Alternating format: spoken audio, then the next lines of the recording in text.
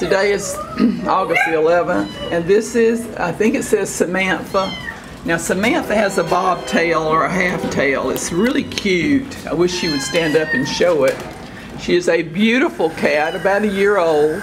Oh, there she goes. I love that little half tail. I don't know whether she was born with that tail or whether something happened to her. Uh-oh.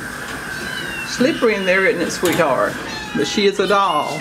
This is Question. Question has been with us for a long time, and Question needs an adopter or rescue soon. He has been here since February. Or, no, sorry, she, she has been here since February.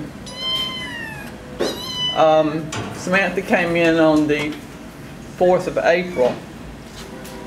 All right, we have these three new adorable kitties that came in on April the 8th, so just a few days ago. Now, Sparkles is the little girl right here. Oh, there's two little girls.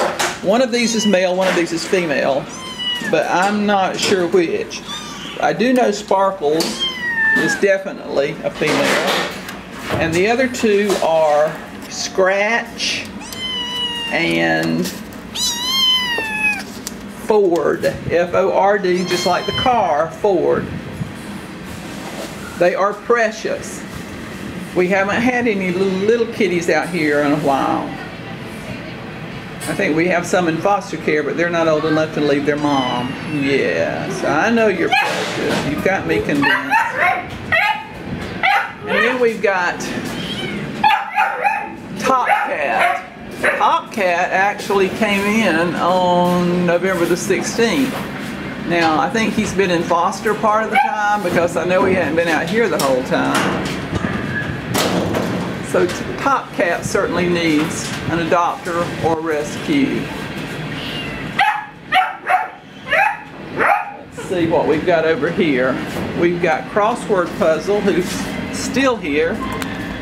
Been here a long time, since November the 5th.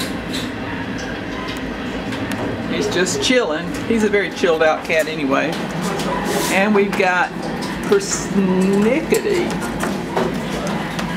I know Persnickety was in foster care for a long time.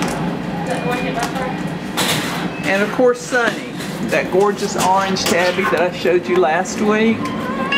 Yeah, I just knew he would probably get adopted at Swamp Fest. But anyway, Sonny's still here. Maybe he maybe he wasn't even at Swamp Fest. I don't know.